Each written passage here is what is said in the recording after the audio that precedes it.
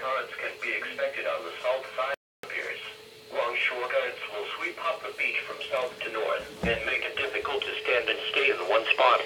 High wave action with rapid succession short period waves will add to the dangerous swimming conditions. Be sure of your swimming ability. Children should not enter the water unsupervised and without a certified flotation device. Caution should be used when in or near the water. Pay attention to flags and signs posted near beach access points and lifeguard stations. High wave action alone can make swimming difficult on days such as this. Incoming waves in rapid succession can tire a swimmer quickly. Structural currents form along the piers where longshore transition wave action flow into the structure. Swimming currents which is in effect late tonight. High wave action and dangerous swimming conditions expected. Strong structural currents expected. Strong longshore currents expected. Rip currents possible. Location beaches from Grand Haven north to Manistee are appropriate zone.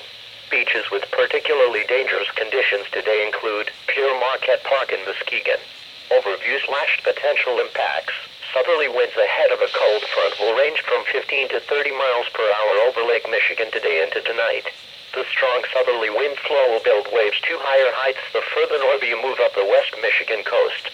The main area of concern will be from Grand Haven to Manistee this afternoon and evening.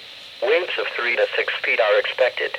South sides of South Piers will be dangerous places to swim today with Pere Marquette Park in Muskegon being a popular beach in the area of concern. Waves become chaotic as they hit the pier and reflect back into oncoming waves. Structural currents can be expected on the south sides of the piers. Longshore currents will sweep up the beach from south to north and make it difficult to stand and stay in one spot. High wave action with rapid succession short period waves will add to the dangerous swimming conditions. Be sure of your swimming ability.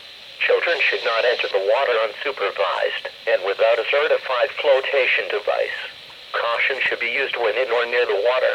Pay attention to flags and signs posted near beach access points and lifeguard stations. High wave action alone can make swimming difficult on days such as this. Incoming waves in rapid succession can tire a swimmer quickly. Structural currents form along piers, where longshore currents and wave action flow into the structure. Structural currents can sweep you out lakeward along the pier structure. Longshore current is a lake current that moves parallel to shore. Longshore currents can be strong enough to prevent swimmers from being able to keep their feet on the bottom, making it difficult to return to shore.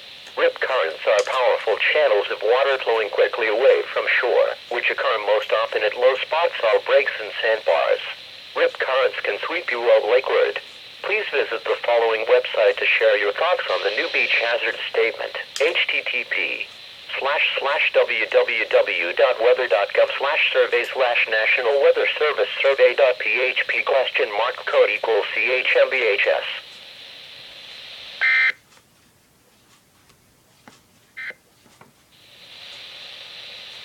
Thanks for listening to NOAA.